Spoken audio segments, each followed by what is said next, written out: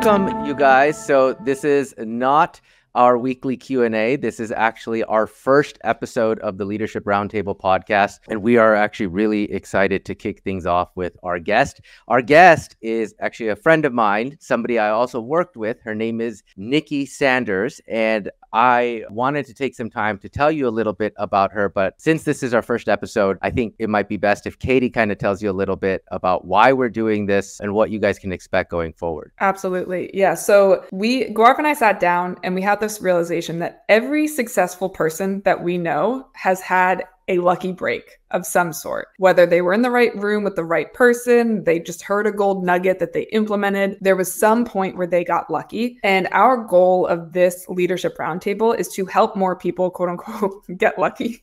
Need a new phrase for that. So every week, what we're going to do is interview somebody that we think or that you guys write in saying is inspiring to you somebody that has a quote unquote seat at the table that you may want to have a seat at. So you will get to be in the same virtual room as these folks, interact with somebody that you admire, and really ask any questions you have about your career growth or your job search, whatever the case may be, or about being a leader for in for most of these.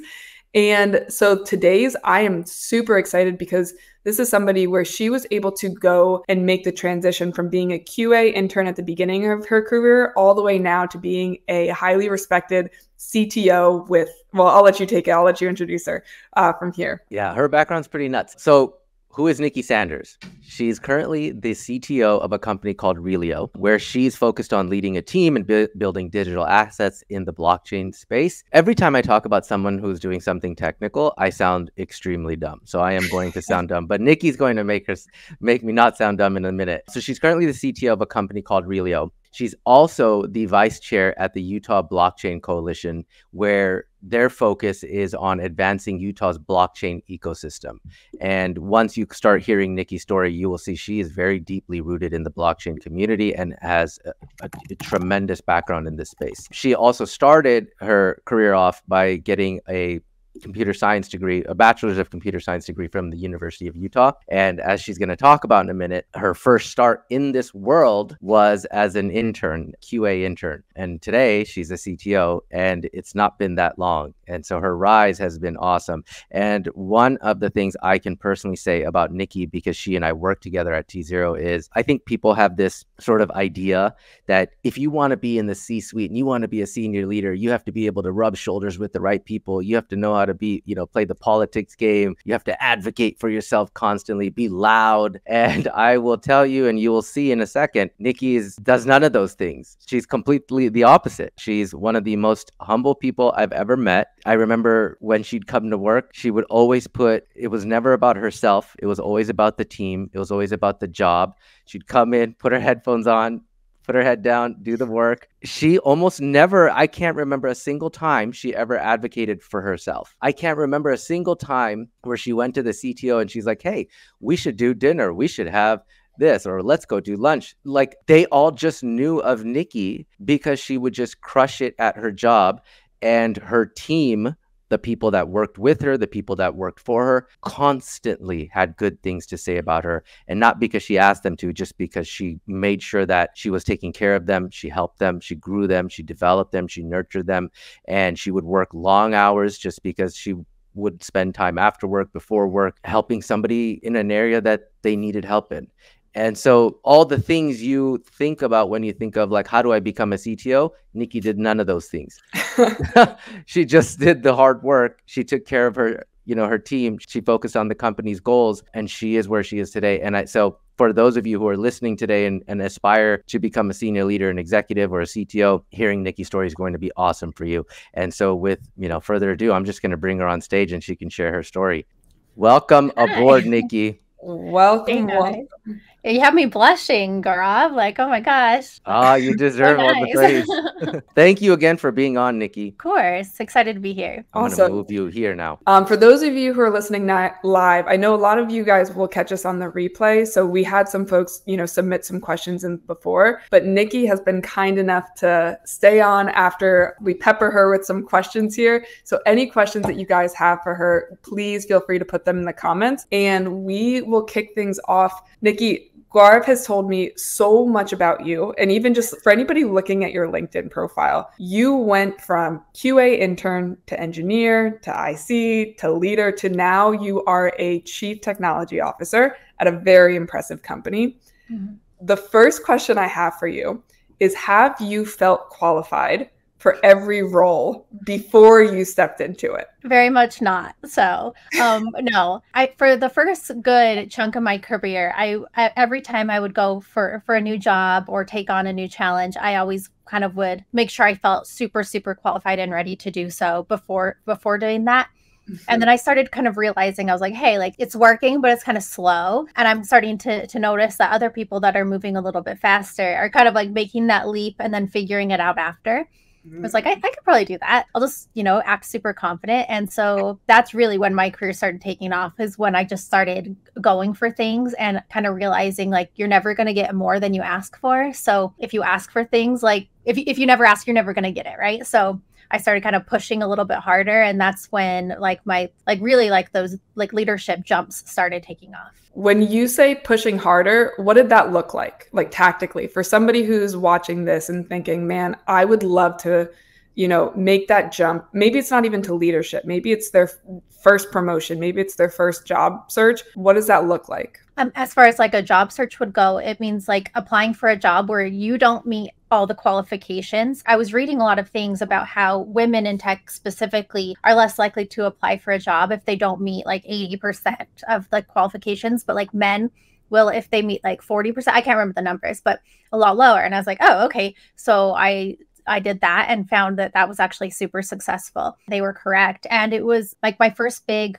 like kind of promotion was at T Zero when I worked with Gaurav. When I took on my first leadership role, I was just feeling a little bit bored in the role I was in and noticed that it was starting to wind down a little bit. So I kind of proactively went to leadership and said, "Hey, I know that I hear that this team like needs um, someone to come in on the leadership side. It's not going really well. I'm looking to make a change. Um, I'd love to take it." So I just kind of straight up told them that that's what I wanted, and somehow convinced them that it was a good idea for them to give it to me. I remember you. You want to know what's funny? I actually yeah. so I remember that conversation because when you had it, after you had it, Sam, who's a friend of mine, and and uh, he was the CEO of, of T Zero at the time, he comes in, he goes, "Shit, I think we're gonna lose Nicki," and he's like, "I don't know if we have a, a like budget in our thing." and uh, to to promote her and everyone in the room and this is what we're talking about about being in the room you actually weren't even in the room Mm-mm. everyone in the room was like no well we have to just find a way to make it happen we can't let her go so that's it's pretty cool to know like when you it, it's not when you ask is when you get it it's all the work that comes before that that when you make the ask it should feel unreasonable to say no yeah. Right? Yeah, it definitely didn't hurt. I felt like I'd put in all the work and I'd really proven myself and I um yeah, really knew that I knew that I knew what I was doing and I knew I was valuable at that point and truly enjoyed the job and um, enjoyed the people I was working with. So when I went to ask, it kind of it didn't hurt that I was like, "Hey, I have this leverage a little bit. Like I know you guys want to keep me around. Here's what I want." Right.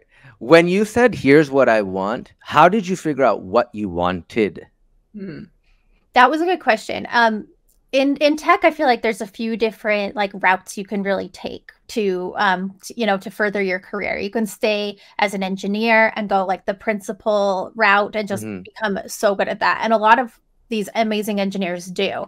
Then there's more you know you can go architect side or you can go leadership like more people leadership. And while i was at t zero i started getting asked to go to like speaking events and go talk about the tech because some of our other engineers who who were just as good at the tech as I was um, just didn't want to do that. They were like, yeah. no, I, I would rather die than go like go speak in front of a, a, room. And I was like, oh, I, I I mean, I like attention. Like I'll do that. I can do that. And so I kind of learned how to do that on the like on the job, and it was a little nerve wracking. And so I and then I with that, so being in more of like a external facing role and interfacing with more people I realized that that was something I kind of enjoyed. And um. I never thought I would, which was weird because since I was going into software engineering, it was always because I was like thinking, I was like, this is a good job where I don't have to deal with people. it's just me it's like my work can really like show you know i can i can do it all by myself i can really shine i love problem solving let's go then i realized i was like oh actually i really like kind of being more social too and i can talk to people and i figured i was like well i've been going on this the ic route and uh, yeah maybe i go the architect route but there was this opportunity to you know take over this team um and so i figured hey it didn't wouldn't hurt i even when I was offered the job, I even was like, "Hey, what if I hate this? Can I go back?" and, and, they, and they were like, "Yes, you can." So I was like, "All right, I'll give it six months, and then we'll talk about it again." So I even I tried to like build in a little like trap door in there just in case, but because it was scary, I was it was going to be a really different day to day. That's cool. There's this question I really want to ask as you were saying this that I just thought of. So I don't know if you remember, but before I came to T Zero, I was at Overstock, mm-hmm. and I was leading this massive team of like 23 people. And on paper, it was like the sexiest role in the world to some, right? Yeah. Every day I hated it. And and in fact, if you I don't know if you know this, but like we would do quarterly 360 reviews. And every single review, the the thing I would wrote I would rank 0 out of 100 and 0 was empathy. And it's because I just could not stand leading people and mm. so you but you don't re- sometimes you you think oh leadership is the sexy thing to do but then when you do it you realize well there's all of this stuff that comes with it that you maybe didn't expect. And then for some like for you my trapdoor was i want out. I want to just go to t0 and just do my thing. What did you learn about leadership that you were surprised to that you didn't know that you're surprised to learn before you stepped into it that you know now? This has been an interesting kind of journey from on that side especially coming from the engi- an engineering role. I it's kind of funny. A lot of times in, in in the engineering world people get like promoted or pushed into like the leadership role just out of like seniority or who you know who's doing the best job. And it that tends not to be the person who actually wants to be an engineering manager and often they hate it and go back. Um, i've known so many people like that or, who would just get forced into a leadership role just just and don't don't like it um there it's a diff, very different skill set and so when you do come from the engineering side into a leadership role there's really no like handbook or training mm-hmm. that typically goes along with that which i find truly shocking now because I yeah, I had to I did so much googling and watching so many YouTube videos and like even look like and I was just like looking up things of like yeah, of like how to run a one-on-one and how to relate to my team. I was very concerned about that cuz I was like okay, like the project side I can handle of like you're doing this, you're doing this, like these are our goals, we'll all move together. But once you're there, you realize, oh no, in these one-on-ones, like you have to get to know everyone and their personalities and how they're all working together. And strangely enough, a lot of like my skills that came out in that is like I'm a mom and I had young children. And, and strangely, I was like, um, a lot of like those techniques of working with toddlers really translates into working with a room full of engineers. Like it sounds terrible, but a lot of like validating their feelings and listening mm-hmm. and problem solving can really be boiled down to kind of simple like principles that you teach children. So strangely enough that there was a lot of overlap. So that was shocking but i learned i learned a lot in that of dealing with like the people issues figuring out how to how different people are motivated to get things done in different ways how like people's working styles can work together or sometimes don't really work well together. That yeah that's been a whole adventure that's a good point about uh, validating people's feelings. Yeah. When you, th- this is a probably a question that I'm sure a bunch of people have, and I'm I I certainly have it. Is uh, you get a team, you actually love the humans on the team, but the humans human A doesn't interact well with human B, and human B is like, well, human C shouldn't be in that role. I should be in that role. How do you not pull your hair out? A and and then how do you get human a b c d e f g to all kind of work towards the same goal and keep them doing it cohesively i guess? Yeah I, that happens all the time. And um, a lot of it that i found that works for me is first of all just trying to get everyone to rally for the same goal. Like all right yeah we have different opinions on you know on different who's in leadership who's doing what but like what is our goal as our team? All right we're going to make this. And it's like and that's all we can control and let's let's do that really well and Um, I just try to, I always try to stay super open for feedback and like welcome it almost so people feel comfortable talking to me about things. That's one thing just through my whole engineering career that I find that kind of led me into the leadership role was I always just had an easy time getting along with my coworkers and becoming friends with everybody and just they like would feel comfortable talking to me. So I've tried to carry that part, like the easy to talk to part into leadership where we can be honest. And um, i want that to go both ways where i can be like hey like dang you missed the mark on this. Mm. this is something you need to improve on. And they know i'm saying it honestly and not not being mean about it you know and saying it early and and not like being like oh this has been a problem for six months and i'm springing it on you now. Because i'm just we're going to have that relationship because we're all adults like that's silly to me. Like we should and i want them to feel comfortable the same way pushing like if they want to push back if they have suggestions. I try to be empathetic and, and really listen and acknowledge whatever they're saying and, and then if i disagree i can tell them that. Like hey like you know I, i'm not seeing it from the same way. If you can prove it to me i'm hmm. definitely open. Like i'm not i'm not saying i'm the smartest person in the room and i know all the answers. So if i don't quite agree with what you're saying. You're def like everyone's always welcome to prove me wrong. I would love that. But I'm not going to change my mind until I until that happens. But that I, I've had super good luck with that of just that open honesty and being on their side. And we're like, we're all on a team. If you have like, let's figure out the best way to do it. And sometimes I have to make a call of like, no, we're not going to do it that way. We're going to do it this way. And I've had people mad at me about that before, but they usually get over it pretty fast. Like once we can just move on and, and start working on the projects. Um, I'm usually pretty good at getting everyone on board. Yeah. Did you have to get comfortable with that? Like, I, I think it's hard to know. I'm gonna say this thing, and there's like 30% of my team that's they're not gonna be down with it. They're not gonna be happy with it. Yeah. and the people pleaser person that side of you might be like, uh, how'd you overcome that?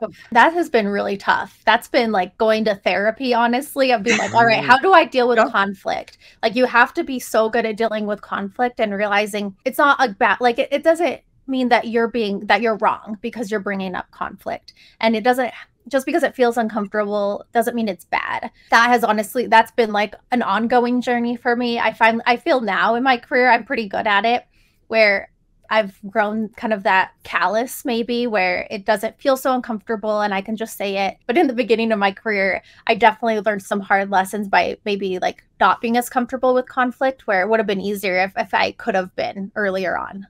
Mm-hmm yeah. Mm. Were you, since you were an engineer, have you always been good at connecting with engineers because of that? That's something we come across a lot, especially with product folks, where they're like, oh man, like it's just tough. They won't even tell me what, like they know the answer and I can't even pull it out of them in the meetings.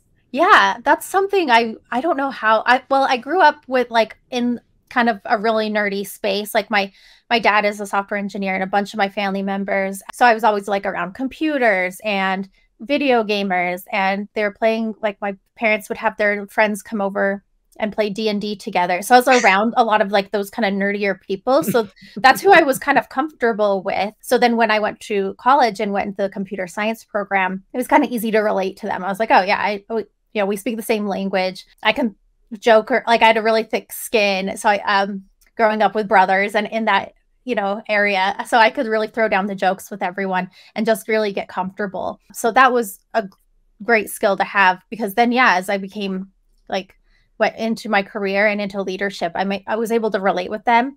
There uh, there were situations where i found like i would almost joke that i was a translator because i would take like talk to the engineers and like translate up to the business side what they were saying and then like translate it down the other way because they would be talking just the they would be saying the same thing and talking past each other. And i started realizing little like weird things like that where i could help. I'm like hey well i, I can communicate this. Because it's just kind of different styles of communication. It would happen between two different engineers that just really had different ways of explaining things. And often they would be saying such like coming to the same conclusion but they were fighting because they didn't think they were. And i just got really good at like stepping in and being like oh like let's talk about this. Maybe that is again like the toddler mom side where you're like, oh, let's I can tell you're having really big feelings. Um, let's let's figure it out. And then I would like be like tra- I was like, oh, it sounds like so and so is saying this, and that sounds really similar to what you're saying. Like it was pretty funny, but I got really good at that and found that like I didn't hate it as much as I thought I would. Dang. I think if for folks listening, especially people who are trying to figure out how do I break into leadership roles, I think that's probably the biggest gold nugget of anything, or like how to deal with conflict, how to so many different aspects. If you can just actually understand what somebody's saying and be able to be the translator for other folks, I don't know that there's many skills that are more valuable than that in life. Nicki, have you have you seen Little Big Feelings? Those two yeah. women. Is that yeah. where you got the okay? Because well, I part of it, yeah. I remember because my wife, when we had our kids, she she would watch this and she would be like you should watch these and i just would never. And i remember one time i we got pissed about something and she used that same phrase. She's like i, I see this as a big feeling for you. I was like okay don't bring that yeah. I know what's happening right now. I try not i don't phrase it like that at, at work but I, that's every time i do it i'm thinking that. I'm like i'm using these exact same techniques. It's pretty funny. Here's a quick something i think about like i'm a little more old school. You're younger than i am but I think our generations are very similar in that the the path was graduate college, you go to a job, stay in that job for X amount of years, then get your promotion, stay in that thing for an X amount of years, get in that promotion, X amount. And so you like the the idea is okay, well by the from the time I graduate to the time I become pot- potentially C-suite, that's a 20 year thing. Mm-hmm. And if you talk to like people coming out of schools today or boot camps today, or you just look at like even the younger generations today, they don't want to wait. And and sometimes it's rightfully so because they're finding better ways to do things, and in other cases it just might be because they're so accustomed to like in, you know instant gratification. What advice do you have to somebody who's just coming out today and they're trying to rush it into leadership and they're trying to grow as fast as they can. Are you in the school of thought like well, no you got to earn your stripes or are you how, how do you do that? Yeah i mean it kind of you know depends on on the person and you know their their skills but i found that a lot of my success um, as an engineering leader is because i was a really strong engineer. When i have engineers explaining topics to me i can really grasp it and explain it and, and have a really helpful conversation with them where if I can show them that I understand what they're talking about. So when, you know, we're making decisions about it, they trust what I'm saying. I have worked with, you know, leaders or, or seen other engineering leaders who are not as strong on the engineering side. So when they make decisions, sometimes the engineers on the team just don't respect it.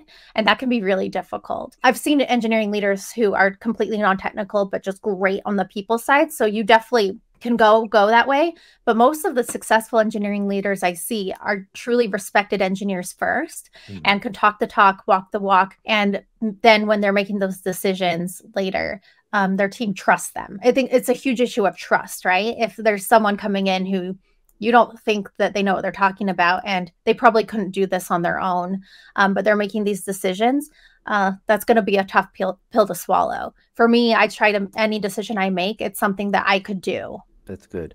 I had a question, but I know Katie does too, so I, I, am hogging all the time. One thing that, as you were talking, even before you said like you weren't in the beginning stages of your career, you were far more hesitant to take on a role that you thought you weren't qualified for. Then mm-hmm. there's that switch. For somebody who is trying to make a jump into leadership for the first time, but they don't have that experience. It's like that whole chicken and the egg, which comes first. What advice would you give to them? I would say become kind of almost like a de facto leader. Um, before I became like an official on paper like leader, I would step up to the plate and help people with things. I mm. would be a little bit louder and try to talk about things. I would try to get in the room a little bit. Um, not too much because I definitely I was like I the idea of being pushy still to this day is just not in my personality. But if like the opportunity came up came up, I would I would make an effort to to step out a little bit. And that helped a lot because then I became just known amongst the team. Everyone knew who I was. I you know, it's it's silly I run into this a lot with engineers and I did too. You don't realize how important like the networking and people side of it can be because you kind of assume, oh, it's just going to be a meritocracy. Everyone will see my work and, you know, the cream will rise to the top, which can can happen. But if you wanted to get into leadership, you're never going to get there if people don't know who you are. Engineers won't care to know who you are if you're cocky about it. It's almost like you have to just be personable and get to know them and it's kind of it's like that grassroots type thing which i wasn't thinking about like strategically at the time. It was just I was going to be friends with the people I worked with and we were gonna you know all get along and i was gonna learn about them and we i was gonna when i knew had this knowledge that they needed i was gonna be helpful and i was gonna jump in and and help and share and be like willing to, yeah just like having that willingness to help so then when it was time to take on a leadership role it just kind of felt like a smooth transition Hmm, interesting. Do you, something that we hear a lot is people end up wanting to leave a company because they feel like they aren't getting like the kudos or the praise that they want to get or the promotion that they want. Was there ever a time when you were doing that? Like it sounds like you were from what Gaurav shared and what you've shared, I think you're being very humble. You probably Mhm. went way above and way out of your way to help people along the way.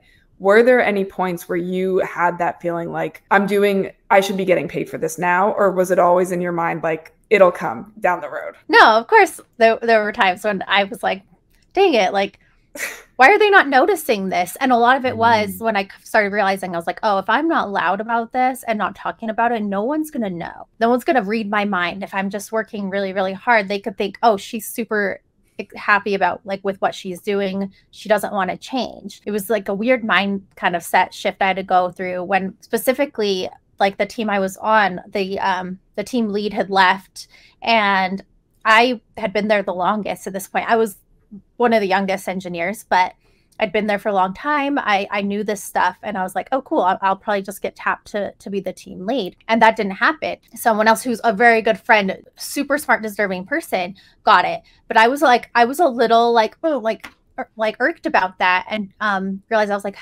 and then and talking to people, people didn't even know I wanted it. And that was for me like the first sign of like, oh, you're right. They like, they're not going to guess, they're not going to assume.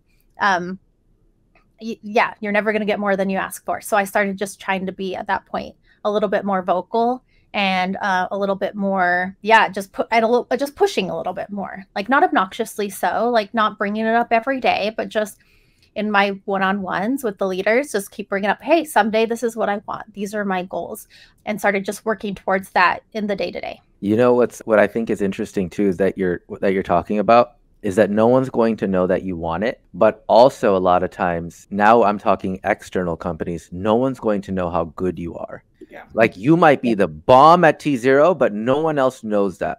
And Right. one thing I noticed about you is when you left uh, your last company, Nerd United, and then now at Realio, that that happened like that. And since T0, you have been on podcasts like this, you've been at speaking events, you have your own podcast. And so there's this aspect too that building a personal brand is becoming, in my opinion, and I want to get your take on this, even more relevant today than ever before. Like I think like if you want to keep moving up and you want to like what I think is unfortunate is a lot of times when people start their job search, it's because they got laid off. And they realize like I don't know anybody and nobody knows me. Mhm. And so we advocate all the time in uh, building your brand. So for but a lot of people feel intimidated about building a brand or putting thought leadership out on LinkedIn or whatever. What do you think are some I guess easy ways for anyone who is apprehensive about being out there to start building their own brand? Yeah, that and that's wow, so poignant because I went through that where finally I realized I was like, okay, if I, if this is what I want, then you know I'm I'm gonna need some sort of brand or presence, mm-hmm. right? But how do you get there? Day one is so intimidating because you just feel so dumb. You're like, I have 300 LinkedIn followers, like it's gonna look so stupid if I just start posting. And honestly, I've started to learn like every, everyone is a novice when they first start and everyone looks dumb when they first try something and the people like who matter they're not going to judge you. So it's you just have to start doing it and it feels weird and it feels uncomfortable and especially with an engineering background um not i have never been super outgoing. It was it was just really uncomfortable. Um i did not enjoy it and i kind of had to force like push through that and just act again it's like fake it till you make it. Just act super confident. And once it starts growing it feels a lot more natural. So it feels weird for the first little bit. You get used to it. And that has been just instrumental i think to my career because i don't i wouldn't have gotten a lot of the the roles and like the opportunities i've gotten if people didn't know who i am because Mhm. how would they right? You you and and no one's going to adv- advocate for you better than yourself. Yeah. Dang, that was so good. You uh you just said something that I that you breezed right past, which is oh man, I just lost it. Oh, you said those who are above you would never judge you. And that is so on point. I think the pe- like people get scared of if I post something, this CTO is going to think I'm so dumb. Right right? But instead that cto probably looks at you it's like man good job for trying and and i understand what you're trying to do because they were once where you were right? Exactly. Even for me sometimes that would make it almost more uncomfortable because then i was like oh people think i'm tr- like am i trying too hard? And people can see what i'm going for.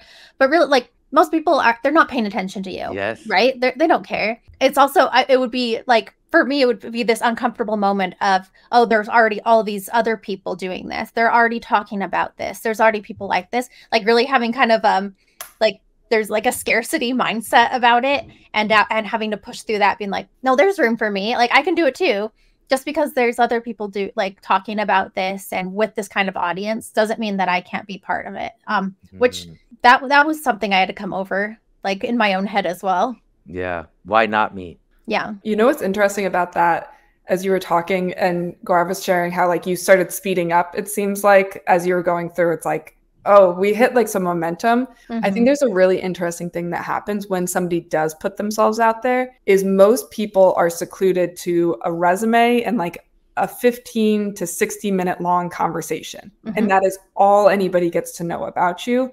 Whereas like now, like Gaurav, neither of us wanted to ever post on LinkedIn or do anything. Like that was a, a, big like we still don't necessarily love doing it. But one of our favorite things is when someone officially meets us for the first time. And I feel this way about you. It's like this is our first time ever talking. I feel like I know so much about you already because of what you've like opened up and what you've shown us. And I think for people looking to grow in their career, sometimes they forget like you may not put your best foot forward, especially if you're an engineer, you're somebody who's a little bit more awkward. Like uh, I'm very awkward as a person. It's like yeah. I need all the bats like that I can get because it's unlikely that my first impression is going to be phenomenal. and like, That's a great way to put it. That That's way. really good. Like, it gives you so many more opportunities to showcase who you are, your intelligence, what you care about, like who like what your personality is. So like I mean kudos to you. I like I am so so excited for like the people. Hopefully there's one person even if there's one person that listens to this and is like, "You know what? I'm going to post today once a week for the next year and see what happens." I love it. Yeah, that would be that would be great because that's how I started. It's just like this awkward, like mm, I'm gonna try, and um, gotten better. It's gotten better. if you could go back and, or if you could give 13 year old Nicki Sanders some advice, what would oh, you man. tell her? Oh, so many things. People don't care about what you're doing. Like, again, like, and I feel like as a teenager, I was so self conscious. I was so, so introverted and shy. Um, I really just like tried to disappear. And I really regret that. I'm like, dang it. Like, you, yeah, I didn't have to do that. Um, but it, but at the same time, it was nice because um, I was really able to just like focus on school. I was like huge, you know, like overachiever, try to get like all of the top classes, all the top grades, which definitely served me well in the long run, learning how to learn. So I definitely don't regret that. But I wish I could tell her to be just a little bit more confident in herself and that she'd get there. It, yeah, at the time it was like I, I just was a such a little shy wallflower. I wish she could have just like at least she would know that someday that would change and maybe that would make her feel a little more confident. That, that, yeah me too. Uh, that people don't care. That's the best thing. You overanalyze any like conversations you've had. You're like i sounded dumb and i still do that. And i've tried to be like nope you know like they're not going to remember this. Like i don't remember conversations i've had where someone said something really dumb unless we like laughed about it and and then i don't care. People are yeah no one cares and it's isn't it silly like we work care so much but really like they'll remember the good things and they'll remember the times that you're nice to them and the nice things you say and they're not going to remember the time that you flubbed your words Gaurav, what do you say people remember how you made them feel more I say anything? nobody cares about how much you know until they know about how much you care. And mm-hmm. I think mm-hmm. Nicki, you embody that. Uh, you embody that really well. Because I again, like if we went back a few minutes ago and we, we think about like what most people think they have to do all the time to get ahead it's like they have to showcase how good i am. There's a way to do that but it's not just that. Yeah. It's how other people feel about you too. We have questions that came in from the audience that that came in in advance and we want to ask them uh, are you cool with that? Yeah let's go. Okay but the first question's from me. Okay. Selfish question. I'm gonna put you on the spot. Where, where do you think bitcoin's going? To the moon to the no. moon. No. 100k i mean eventually. It's a deflationary asset so i really don't see it having a possibility of doing anything but trending up. Um i mean obviously i'm a like big advocate and fangirl yes. for for blockchain tech and Bitcoin, but I don't see it going anywhere. Um, especially knowing all the things that are getting built around that ecosystem. Um, uh, yeah, it's sticking around, and yeah, it'll hit a hundred thousand definitely within the next few years. So hodl, my wife keeps telling me to sell our, our crypto. I was like, I haven't no, sold no. it since 27. Like I bought it in 2017. I'm like, I'm not going anywhere. There we go. Oh, Diamond man. hands. Yeah. Diamond hands, man. okay. Okay. Um, well, just for our disclaimer, we are not giving anybody trading advice here. like asterisk, not trading, like not financial advice. Yeah. Not financial, no fiduciary advisors here. But I do say something going off of that. The next question somebody asked was why blockchain? Like, of all of the, te- sectors in mm-hmm. tech, where do you rank blockchain in terms of getting a career, starting building a career? How do you rank blockchain? And why do you like it so much? Yeah. Yeah, I mean, yeah, there's a lot to that, but I kind of got, I kind of fell into it in kind of a funny way, actually. It was because Overstock, you know, was spinning up this little, the Medici Ventures kind of research and development arm. And um, at the time, I was at Raytheon and, you know, being backend software engineer, which is awesome. But I was so bored, you guys. Um, the tech there is just really they have to use kind of older technologies because it goes through so much red tape, you know, before you can use it as a defense contractor. So I wasn't really learning any new tech. I was I was kind of behind and I got my degree from the from the University of Utah and there was a group of us who'd go out like monthly ish and get some beers and like just chat and I was talking about how I was bored and a good friend of mine was somehow one of the founding engineers of this T0 Medici Ventures um, and he was like oh like you should come work with me. We're doing this blockchain thing. Wait and who I, was that? Eric Fish. Oh okay. And I had I was like I think I've heard I've heard of Bitcoin because some guy was mining it on like the computer lab machines back in the day in school which yeah, dang it. I should have done that. But so I'd heard of it, but knew nothing of it, but it sounded exciting. And he was like, Yeah, it's a startup, but but we're, you know, have the backing of Overstock and it changes every day and it's crazy. I was like, all right. So I kind of just jumped on board. So I kind of fell into it. And this was 2015, so pretty early on, and just had to dive in the deep end and started learning about it as Ethereum became a thing and like smart contract development became a thing. I was pretty early there. So I have a bunch of patents in that area and got to really dig deep on it. So it just really was interesting to me because it was learn I, I, was constantly learning. It was changing. It was growing. It was exciting. So now i'm almost in too deep to leave but it's also still an exciting space to be in because that has continued. It has not stalled out. Like the growth has continued to happen. It's continually changing. Yeah there's like ai seems like the new hotness right now. Um, there's always going to be some new hot tech that comes in and i'm definitely keeping an eye on it. And um, you know we'll learn about it and see how I can incorporate it. But I just have really grown to love blockchain tech as a whole.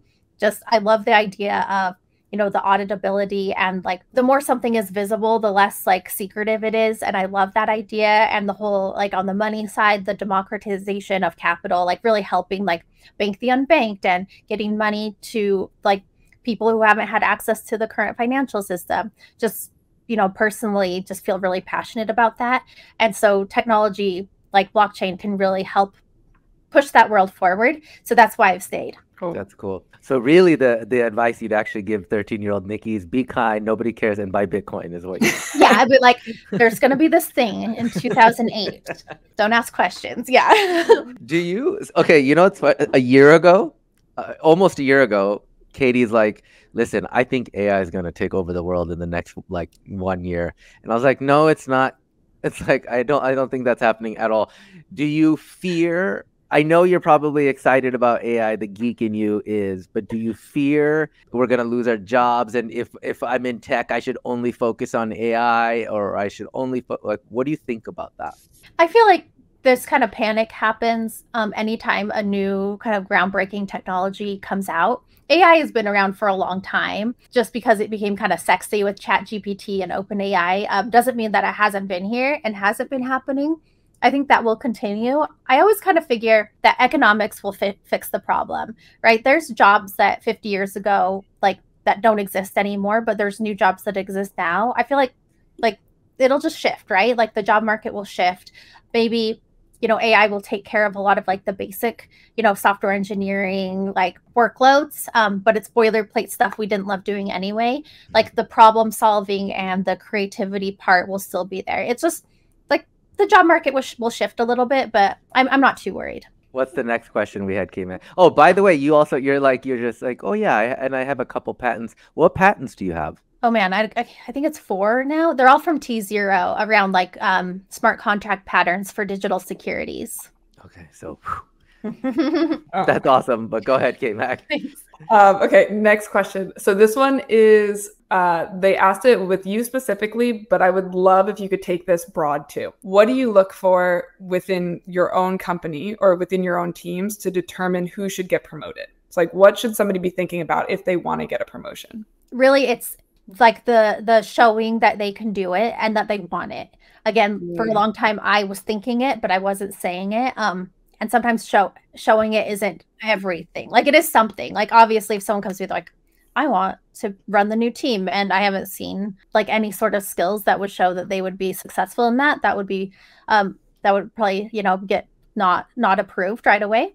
But so it's really yeah it's like building up those skills and starting to take on those responsibilities without being asked and then also telling me. Because mm-hmm. again sometimes engineers get forced into leadership roles that they truly do not want because just because they've been around the longest and they're like they're the most knowledgeable.